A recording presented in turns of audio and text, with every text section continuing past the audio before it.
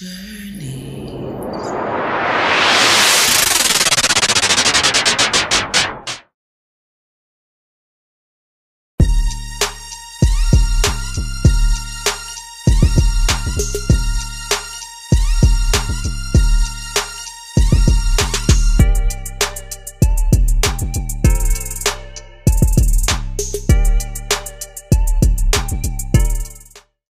horse racing, everybody focuses on the finish.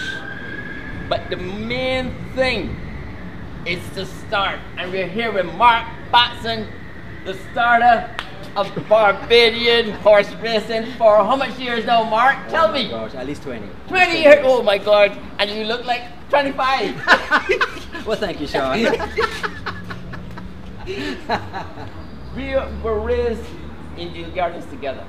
So I know you're not 25. I, I know. but thank you, though. I know you're. I know you're. Or 55. Flattery will get you everywhere. Do you have any horses racing on Saturday? oh yes. Oh yes. Joshua. Oh, okay. I need all the help in the world. No problem, Sean. we were raised together in the garden. We, we grew up in a close next community. Yes.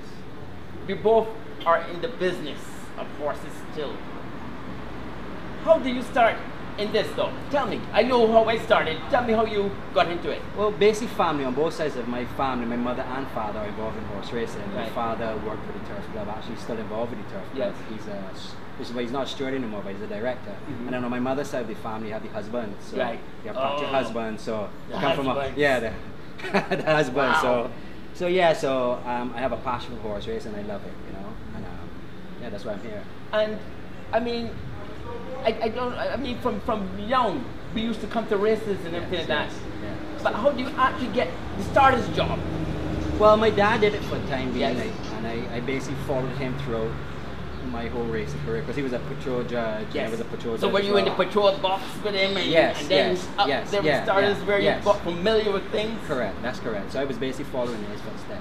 Wow. So he was the assistant starter, and then I became the assistant starter.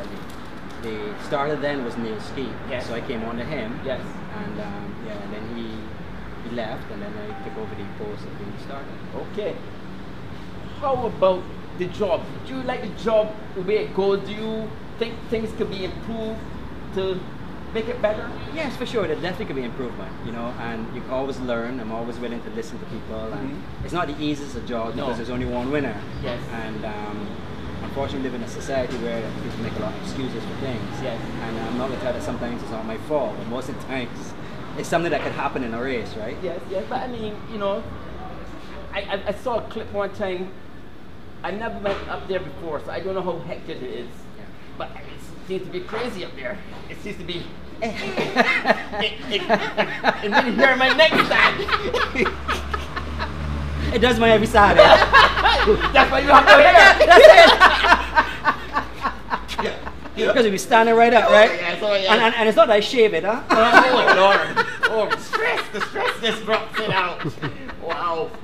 Yeah, and you know, like we we, we have a special special around the garrison because it's so close Yes, to the yes. uh, spectators. That's right. And so even when you're schooling horses in the morning, you can't simulate a race day because it's not that crowd around. Yes. I don't think a lot of people truly realize that. You know, the horses are not accustomed to it, No. especially racing for the first time. You have the crowd that close. You know, so what we have is really unique. Mhm. So it's really special for visitors and people and locals of the island to actually be so close. But then when it comes to actually starting the races, it does have its challenges. Yes. And you know, like it's interesting until you walk in a person's shoes, you don't know because you just see it Yes. and people just assume. Yes. But it is a very difficult job. It can be. So it's safe to say that you get a lot of blame for a lot of stuff. well, yeah, a lot of fingers, a lot of finger They pointing. point at you. yeah, they do. They do. And how do you handle that stuff? Well, I don't have any hair anymore. So, Oh. um, I came to Garrison with a full head of hair. Oh my No, um, God. no, it is a stressful job, Yes. Sean, but I, I love it and have a passion It's for good it. thing it's just twice a month. And it, you can imagine if it was more. I probably wouldn't have any eyebrows.